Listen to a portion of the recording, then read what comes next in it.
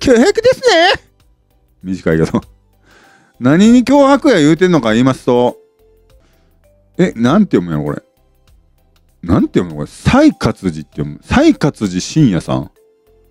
NHK と新宿空港に、周りをうろつく人に恐怖を感じるなら、歌舞伎町のコラボ事務所で活動されてはいかがですか新宿区役所の入り口という誰からも見られるところで活動し続ける限り、いつまでも恐怖の中活動し続けないといけませんよ。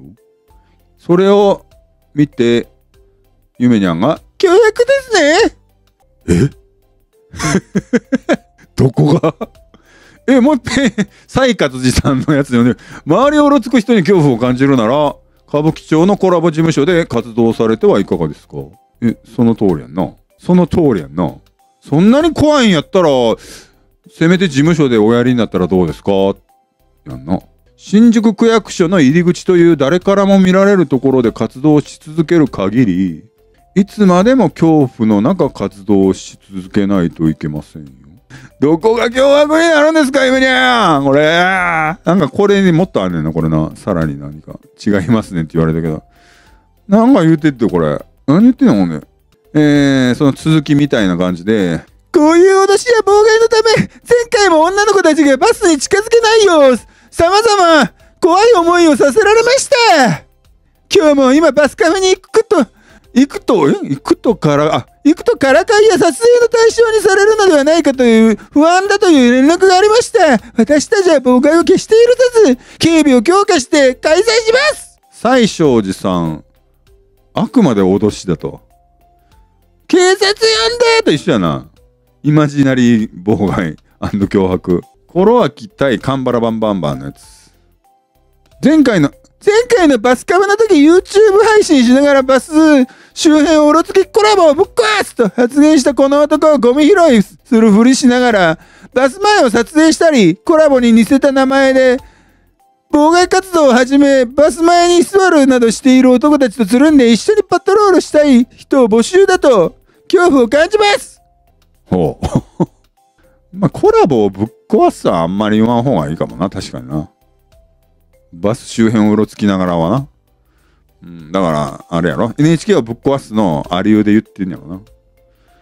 うーん、恐怖を感じる。だから恐怖を感じるんやったらコラボ事務所で活動したらどうすかっつう話やな。え、そんなこと言ってないんや。サイカとしたもんは。コラボをぶっ壊すなんて。おいおいおいおいおいおいおい。妄想、妄想ですか？二頭夢芝居。恋のからくり。夢芝居。二頭夢芝居やな。言ってないことを言ったことにしたらあかんわな。そらあかんわ。コラボをぶっ壊すは言ってないんや。NT さんによると。それはあかんよね。ほんならあかんよね。それ、誹謗中傷やんな、それこそな。言ってないことを言ったっていうことにしたかわ。それはもう問答無用だかも。事務所でやればなぜ脅迫と捉える？脅迫って言ったら、こういうことやんな。あのー、バスのエンジンから火が吹かないように気ぃつけないとねとかそういうことやんな。それでもギリギリ脅迫にならへん感じやんな。いや、俺は気ぃつけろって言っただけですけどってなるやんな。でもまあ脅迫やわな、それは。まあガソリンが突然、ガソリンタンクから突然出荷とかせえへんように気ぃつけた方がいいですよね、みたいな。これはまあ脅迫よね。この、西正寺さんが言ってるのが何が脅迫なん？どっからどう見ても脅迫で、どこを取ったら脅迫になるか全くわからないんですけどね。東京都が公文書をまた削除。またか？どんな手を使っても勝つつもりでいるから、これだけ自信満々に震えるんですよね。遅刻遅刻食パン。バスカフェなんてやめろ事務所でやれじゃないと怖い思いをすることになるぞ。えー、でもそういうことやんな。ギリギリのラインは辺野古で鍛えてるから向こうが上。ほんまやな。事務所に怪しい女の子を呼び込むなんて怖い。月の明け月の夜道には気ぃつけや、みたいな感じな。それは脅迫やけどな。ニトリさん頑張って私たちもコラボの活動を必要としてくれてる女性のためにもコラボへの卑劣な妨害や誹謗中傷を絶対許しません。大丈夫、明けない夜もやまない雨もありません。必ず笑って胸を張れる日は日は来ますからその猫名医師さんよ。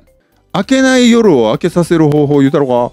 領収書出すね。んちゃんと領収書を出しなはれ。って言えや。なんかじっと我慢したら開けるみたいな感じで言ってるけどさ。いやいや夢にゃんがが領収書出したらいいだけど。領収書出したら笑って胸を張れる日やんかなその日はな。領収書出せややな。領収書出せややな。だから領収書出したら一発で夜も明けるし胸を張れる日が来るんですけどそれはいかがお考えですか猫ミーさん。ね。領収書問題から目をそらそうと一生懸命なようですがそろそろ本腰を入れたらどうですか？1ヶ月とあっという間ですよ。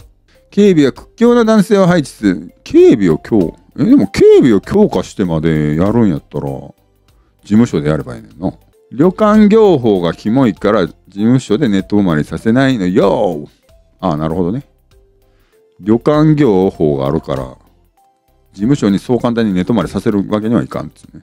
まあ、妄想の毛が入ってきてるということですよ。